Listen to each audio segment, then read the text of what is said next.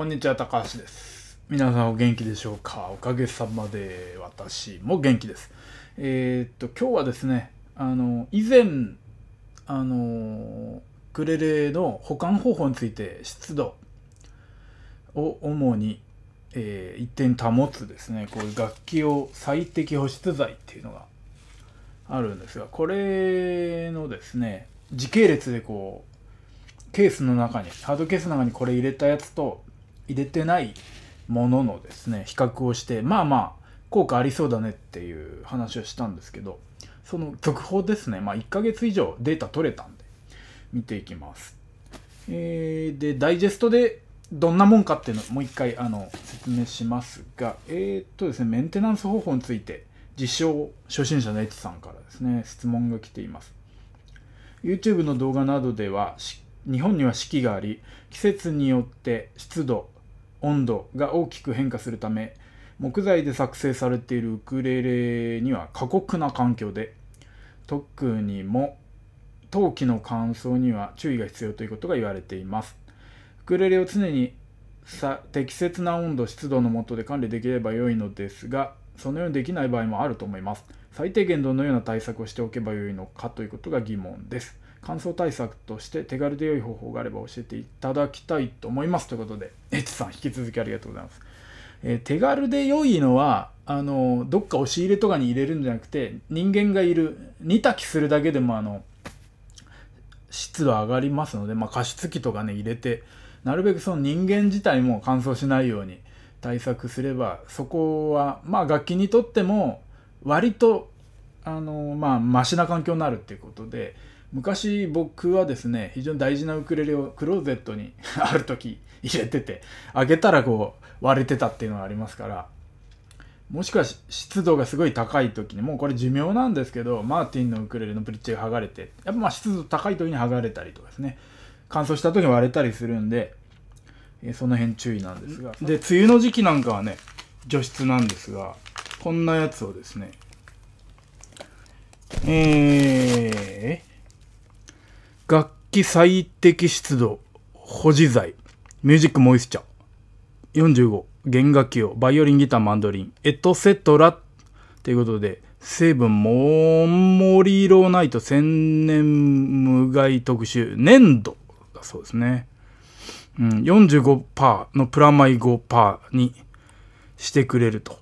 湿度保持剤の原料として使用されているモンモリロナイトは古美術の古美術品骨董品の湿度管理に多くの美術館博物館等で使用されています。物理的に自らの水分を出したり吸ったりして楽器の理想的な湿度45%をたの保ちます。15%に復帰しオールシーズン約1年間の使用可能です。閉じたケースの中で使用してください。また楽器を取り出した後もケースを必ず閉じてくださいと。どうもどうも。というわけでちょっと出先から帰ってきました。それがまあ2袋入ってるんですね。うんこんな感じ。でまあ乾燥すごいんで実はまあ出かける前にケースには入れてって、えーただしですね届かなかったんですね。その湿度測測定する、機材を買ったのでこいつをですねスイッチボックスう温湿度計、えー検証したいと。ですね本当にその加湿除湿のあのー粘土の袋がですね長年にわたりその博物館とか美術館で使われてきたのが定評があるんだと思うんですね。まあ徐々に変わっていくのかもしれないんでその間にもう1台をあ電池入れたりしようかな。あいいかもしれないですね。うん50度24%と23%だからまあい一度湿度1度ぐらいのまあブブレがあると思ってこれ以上がっつりあ一緒になった。けど 変わったな。もう吐く息とかで湿度変わるんでしょうか。ありますね。これ近くのボットとかっていうのがあるんでこうプラスを押すと「うーログインせ」と「アカウントがない場合は作れ」と「どうのこうの」って書いてある。あ1個ずつやんないとダメですね。これ右が2ですね。これちゃんともう2って書いとこう。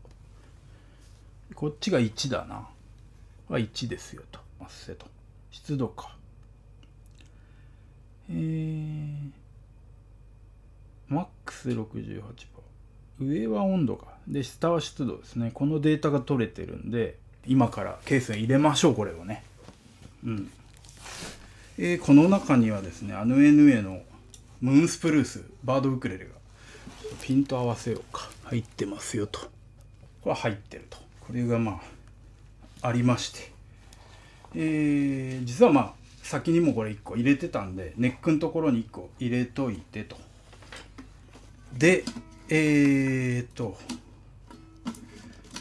音質時計どっち？1番をじゃあ楽器の方に入れます。うーん。でもネックのこのところこの袋が入ってるところだとあからさまなのでこの間のところですね、うん、こっちのネックのところにこう袋入れてこっちのなんか小物入れ的なところこのシリカゲルはちょっと出さないといけないですね。除湿剤。うん。除湿剤どうかってことですねこの時期に。でここにこれ入れますと。で隣接はしてないんでこれで多分まあ結構リアルな、えー、温湿度測れると思うんでこれで蓋をしましてと、さてこれでじゃあうん一回またあの置き場というか正規の置き場。私の中の置き場。でそのすぐ隣にこれ丸2ですよね。これを設置したいと思います。がさてじゃあこのモイスチャー。ミュージックモイスチャーですね。楽器最適湿度保持剤。さてこのこれかこれか。こっちにですね今。このスマホで時系列であの温湿度が取れるまあ、温湿度計っていうのをケースに入れている。でもう一個はそのまああのー、そのすぐあの最初の画像を撮った時はすぐ隣ら辺に置いといたんですけどまあそれでまああの、まあ、クローゼットというか保管棚みたいなところにいてその後はですねあのじゃあよくあの霧のタンスとかってその温湿度一定とかっていうんで、まあ、霧のあの引き出しに入れてるやつと比較です。じゃあまずその霧の引き出しですね。まあ室内。こういう保湿なし。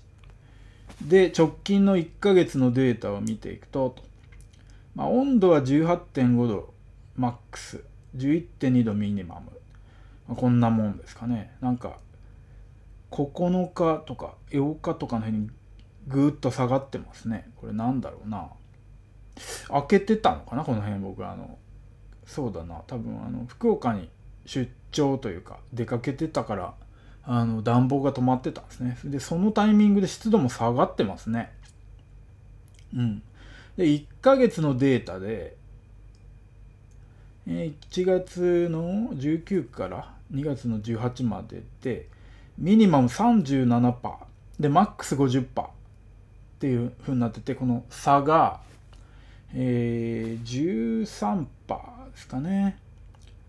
うん、まあこの保持剤は、えー、45度プラマイ45%プラマイ5%を歌ってるんですがまあこれがないとそこ下回ってますし上回ってますよね。下回りがきついですね37だから。